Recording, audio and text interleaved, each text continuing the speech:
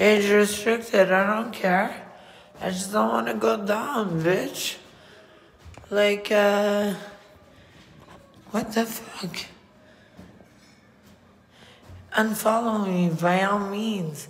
If you were following me because you thought I was gonna get naked for you and uh, sit on your dick for the rest of your life, then please just leave.